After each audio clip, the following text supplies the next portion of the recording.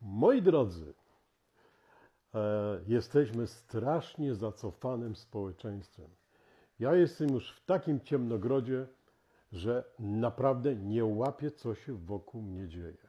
Otóż wyobraźcie sobie, że z okolic dzisiejszej polskiej władzuchny odezwały się głosy poranionych pań, które stwierdziły, że należy to uregulować wreszcie, ponieważ one, jak urodziły już raz dziecko, to nie chcą być więcej traktowane jako mamy.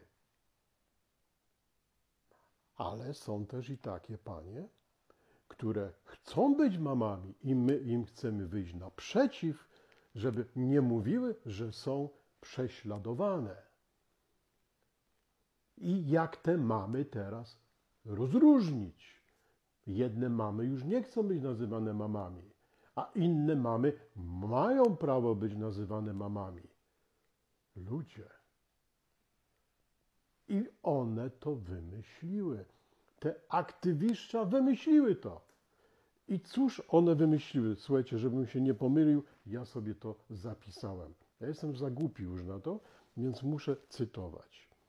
Otóż mama, która chce mieć dzieci, powinna być nazywana oficjalnie oczywiście osobą rodzącą. Słuchajcie, to jest genialne. Witam cię, osobo rodząca, powiada dziecko do wracającej do domu. No chciałem powiedzieć mamy, no, osoby rodzącej. Ale co w takim razie z osobą, przepraszam, z mamą, przepraszam, z kimś, kto nie chce, tak, nie chce być już mamą, albo w ogóle nie chce być mamą.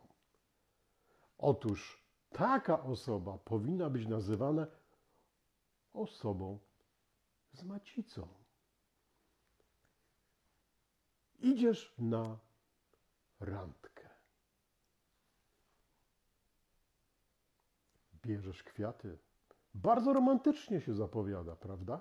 Bardzo romantycznie. Umówiłeś się, hmm, i tu zgryz. Ale w swojej staroświeckiej głowie układa sobie to mężczyzna.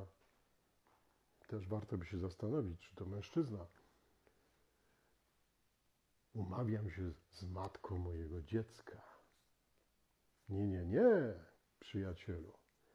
Bo jeżeli ta matka już nie chce rodzić, to ty nie możesz do niej, do niej mówić mamo mojego dziecka, bo to ją obrażasz. Ty masz powiedzieć, przychodząc z tymi kwiatami, witam cię, osobo z macicą. Nie ma w tym nic zdrożnego ani nic obraźliwego. To jest nowy świat. Popatrzcie, jaki cudowny, jaki miły, jak romantyczny. Och, ach, i tak dalej. Dopisałem do tego kawałek historii.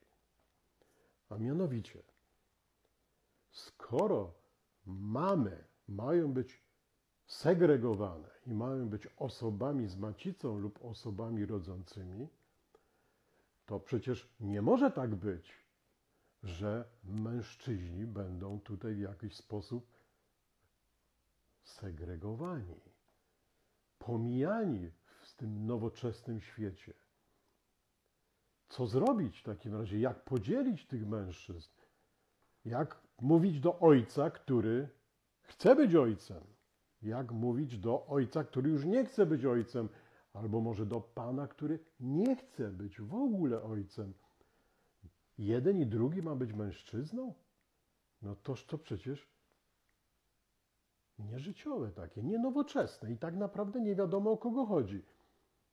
I wiecie co? Jako góral, bo jestem góralem, to ciekawe, jestem góralem polskim i jestem też góralem greckim, a właściwie to macedońskim. A więc ta moja natura góralska podpowiada mi intuicyjnie, że nowocześnie byłoby powiedzieć, że ten facet, który chce mieć dzieci, to chłop z jajami. Ale facet, który nie chce mieć dzieci, podkreślam, nie chce mieć dzieci, to chłop bez jaj.